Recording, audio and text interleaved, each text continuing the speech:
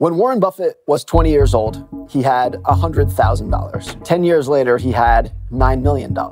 10 years after that, $250 million.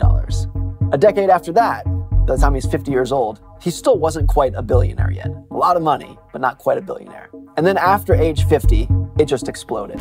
1 billion, 10 billion, 20 billion, 50 billion, 100 billion that he's accumulated now that he's age 90. And I tell you this because Warren Buffett did not get rich quickly. It did not happen by chance. It was very deliberate. I think the process that he used to get rich is actually pretty simple. Not necessarily easy, but it's not very complicated. And I'm looking forward to explaining it to you. In my Finbook, I want to teach you the Warren Buffett way. And we're going to focus on three things.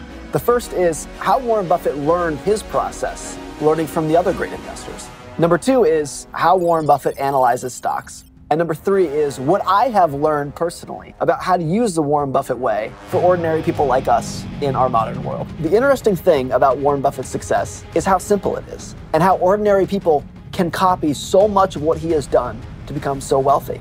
Even if you don't become as wealthy as Warren Buffett, what he has done, the processes that he's used, are understandable by anyone. I think a lot of the reason why so few people have copied it is because it is so simple. And most people believe that if it is that simple, it can't be that powerful. That's actually the good news. The biggest takeaways from Warren Buffett's success are very simple that you yourself can copy.